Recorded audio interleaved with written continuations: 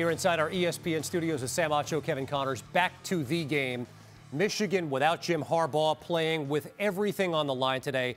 How were the Wolverines able to hold on? Their defense was outstanding. We saw an early interception by Will Johnson and a late interception as well. And so we saw pressure from Michigan's defensive stars, but also they stepped up even with injuries. Zak Zinter, one of their best offensive linemen, went down, still stepped up. Will Johnson, we didn't see him a lot in that fourth quarter, maybe because of injury, still stepped up. And so that's what I saw. I saw Ohio State not able to really move or breathe at all because Michigan was so suffocating. The formula is very simple for Michigan. Win the Big Ten championship, you're in the playoff.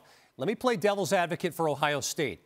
They've beaten Notre Dame, they've beaten Penn State, they lose in a one score game on the road to their rivals. What case do they have? Uh, they need chaos more than just a case. Last year they had a little bit of help. Remember they lost in this game. USC lost. All of a sudden they got back in. But now they need so much more. You have Florida State vying for a spot. You have Washington or Oregon vying for a spot. Texas or Alabama vying for a spot. With Georgia playing Alabama later on this season. So they need chaos to make their case. Third year in a row, Michigan has beaten Ohio State. That'll resonate all the way from Ann Arbor to Columbus, and Michigan will play for a Big Ten championship.